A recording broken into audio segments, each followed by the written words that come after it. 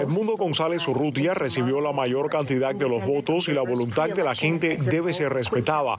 Así se expresó esta tarde la Casa Blanca ratificando que reconocen que la oposición ganó las elecciones y que esto se evidencia en más del 80% de las actas electorales. Las cifras hablan por sí solas. El resultado real de las elecciones está claro. El Departamento de Estado aseguró también que su postura no ha cambiado, a pesar de algunas interpretaciones en otro comunicado. Maduro y sus representantes deben reconocer los verdaderos resultados. Sin embargo, analistas internacionales dejan claro que aún no se puede reconocer técnicamente a Maduro como presidente, pues la fecha de la transición de realizarse sería en enero de 2025 no pueden reconocer a, Edmundo González como presidente porque no se ha dado aún eh, un, proceso de posesión, no, no, se, no se lo ha juramentado, no se ha llegado absolutamente a nada. De manera que lo que están esperando ya es una salida negociada, una solución negociada y para eso evidentemente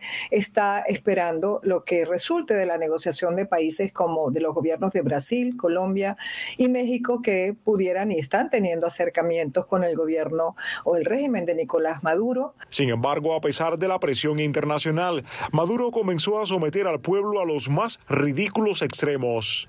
Retiro voluntario, progresivo y radical de WhatsApp.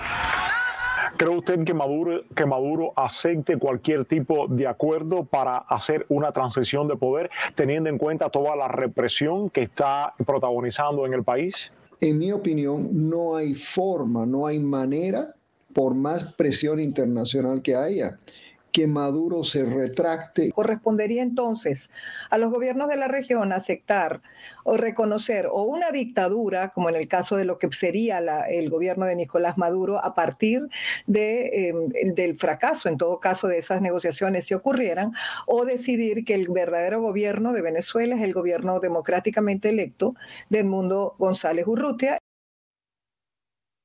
Y desde el 29 de julio el Foro Penal está reportando 1.100 detenidos, donde se estima que 100 de ellos sean menores de edad. Por otra parte, los muertos asesinados en las protestas ya ascienden a 23. Desde Univisión estaremos al tanto de la situación política en Venezuela. Soy Javier Díaz. Continúe con más.